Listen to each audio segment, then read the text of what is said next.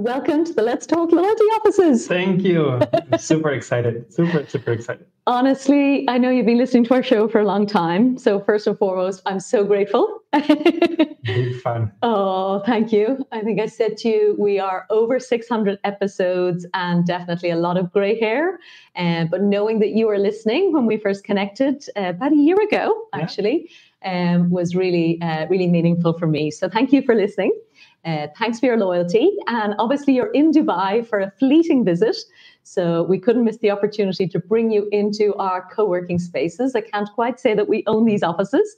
Um, but yeah, tell us a bit about yourself, Rafa. You've been in loyalty quite a while. So just for people who don't know you, tell them a bit about what you do. Yeah, it's been almost 14 years in the industry. Mm. Gotta say, I got it by accident. Uh-huh. So used to work back in the days for Aeromexico in the airline business.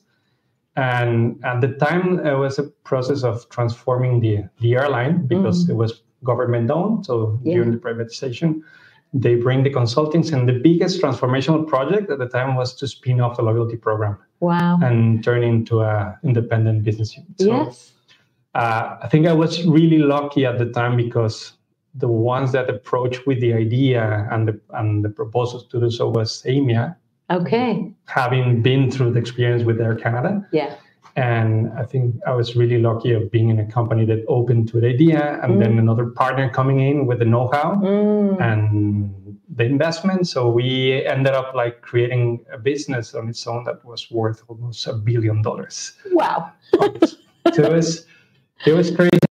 I mean, going down the road, you can argue things that were done well and not, but I was exposed to a full loyalty company from from the get. Yeah, yeah. And I think that's like basically shaped my career. Yeah. Then I went off to, study an MBA, and when coming back, I started a tech company uh, for uh, enabling small businesses with loyalty okay. capabilities. Yeah. That then morphed into a rewards platform that was used for incentive programs for okay. employees yeah. and to like uh, be able to redeem experiences, rewards mm. in in larger programs. Okay. A business then we sold, mm. and then I started partnering with old mates from from Aimia and from this project in uh, Mexico called Club Premier in, in a new uh, consulting agency called On Point Loyalty. Yes, yeah. And from there, I started like doing strategy, transformation, loyalty projects with airlines, uh, with uh, casinos, hotels, retailers. Mm. So then I turned from being after uh, being an executive operating programs and yeah. uh, being the entrepreneur. Then I changed to being the consultant and be able to. so I am the weird like profile that's been like I'm three type of totally of, of people in, in, in one in my experience. Yeah. Uh, did a had a fantastic like time with with the consulting projects, but uh, at the time COVID came with the pandemic, yeah. most of our yeah. clients were in the travel industry. Yeah. And you can imagine what happened at the moment. We know very well. Yeah. Everything dried up. Yeah. And I think uh, the entrepreneurship, like spark, came back. Yes.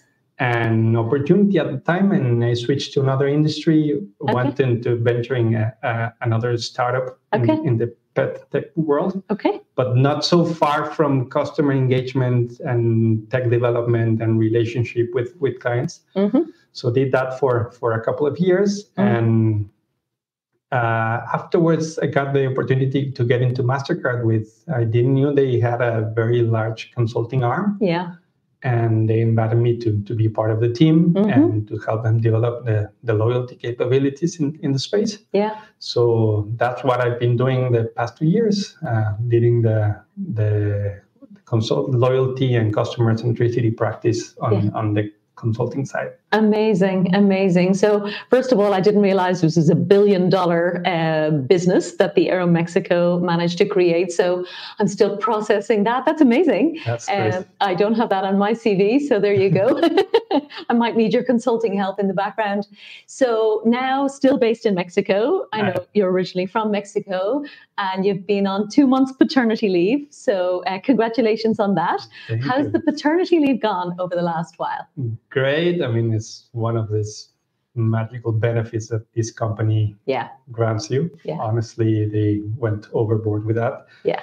But also like gave me the, the chance to be like outside of Mexico. So we Yeah. decided to move to, to Cape Town to South Africa for a couple of months. Yeah. And did for the matter of like experiencing that city, that amazing country, the Mm. nature setting, the people, everything. Yeah. Uh, but especially we targeted to be in a market I've been researching a lot, and I think Yeah. really thankful for your content that I put it on the map because I didn't have any clue that South Africa is so well developed Yeah. in the loyalty space. Yeah. So we had the chance to be part of the uh, international loyalty conference there Yes. Yeah. and meet a lot of people. And as a client, in really two months, got like signed to eight loyalty programs, saw them like working everywhere, Yeah. and I was really blown away what this like Yeah. particular market is doing. So Yeah. research a lot, learn a lot, Uh, while having fun as well. So Totally. And you were still responding to emails, presenting at Amanda's conference. So Yeah. shout out to Amanda Cromhout for hosting us both Thank down Amanda. there. Indeed. Yeah. And I've always said it, and I'm sure you've heard it on the show, Rafa. I really do believe that South Africa punches above its weight. And perhaps because of the demographics, actually, because it it is, I think we heard coming through actually in the conference, it's part of the household budget for people. It's not just a nice luxury for frequent flyers, it's totally different. It's ingrained in everyday life and very mature. yeah. So it's super fun with Yeah. that. No, for me, was impre- I was impressed to see the level of development and depth of the programs. Yeah. But I think more so than anything, the purpose of the programs. Mm, So they really cater their programs to things that really matter to their customers totally. to make it useful and, and, Yeah. and people react to that. Yeah, super relevant, Yeah. super relevant.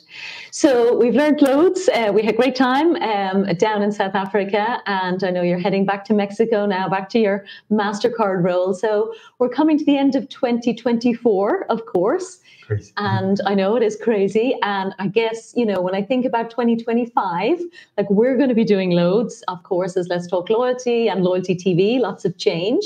But from a loyalty perspective, have you been kind of noticing anything that, you know, whether it's something like AI? I mean, we all know the hype, but what are you thinking about as you go back into this role, big year ahead? Um, what should loyalty professionals be thinking about for 2025? Big question, I know. yeah. I think as you mentioned, like big topics are around like data utilization, hyper personalization. Yeah. AI comes like supporting that. I mean, people talk about AI, AI, but what does that mean? totally. Is really like like targeting the mass use of data or processes to be able to like make the most out of that in the Mhm. most efficient way. So I think hyper personalization is one of them Mhm. it's really hard for companies nowadays to, Yes. to use what they have in, in, in, in store around data. So building their data strategies. And I think Mm. it's if you were tell me that's the cornerstone of the rest of the strategy. If you Yeah. manage to understand where you are, Mm, how your customers are being uh, behaving and feel and mm, and the, their likes that's that's great and how you like process that and enable that Yeah. into reality which is the tricky part for me so that's one i would say the other one would be uh, creating the emotional mm, layers on top of the transactional programs mm. which uh, uh, companies are yet to like further Yeah. work on Yeah.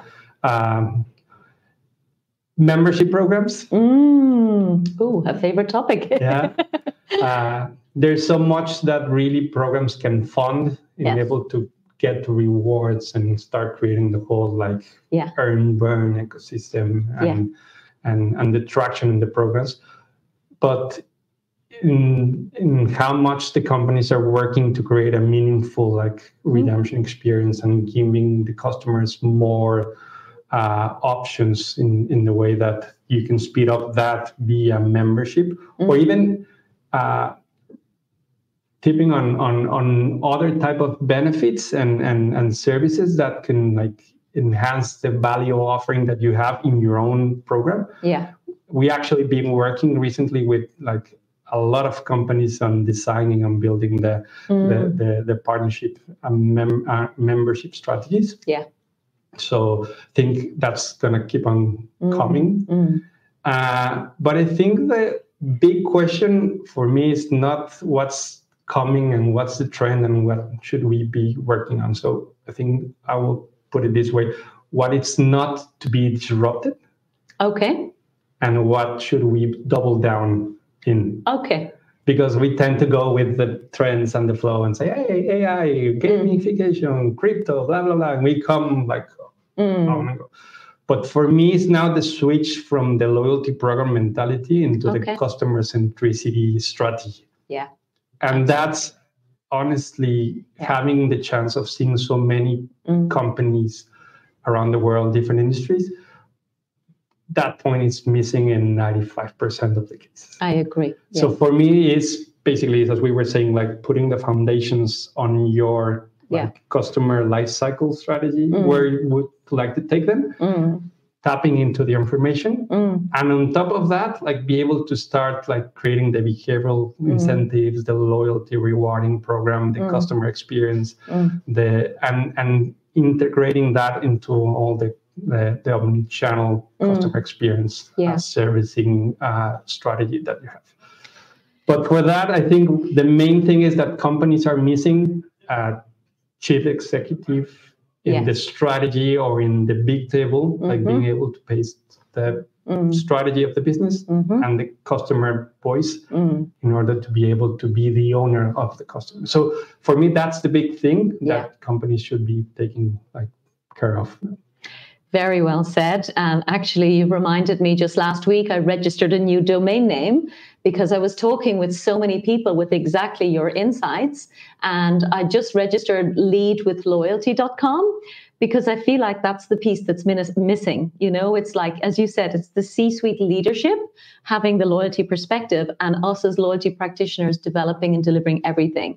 But there has to be a lead and a mindset around loyalty, first of all. Like, how do we want to be loyal to our customers? And then, of course, whatever technology, whatever, it's all available. And I will say, of course, MasterCard is a very well kept secret, which is never a good marketing strategy, but we've joked about it before on the show. So, the loyalty platform, again, we're not going to get into the detail now, yeah. but you guys have amazing tech. Then, of course, your whole consulting practice, global loyalty consulting practice as well. So I didn't even know you guys did all the design piece. So we'll give you guys a plug and we'll make sure if anybody is watching this clip that they can reach out to you, Rafa, and connect sure. with you uh, when you go back to Mexico. Yeah, no, and I think that even the concept of loyalty, mm-hmm. it's limited. Yes. Yeah. And we struggle a lot with our clients whenever we come and they initially right off the bat think, ah, you're the guys that do the pro do the points. Yeah. yeah. and this is yeah why we are like yeah. working very strong to shift the name into the customer centricity part. Amazing. So yeah, I think that will be a big trend for next year. Wonderful. Okay, Rafa Martinez, thank you so much from Let's Talk Loyalty for joining us in our offices. Super happy to be here. Thank you.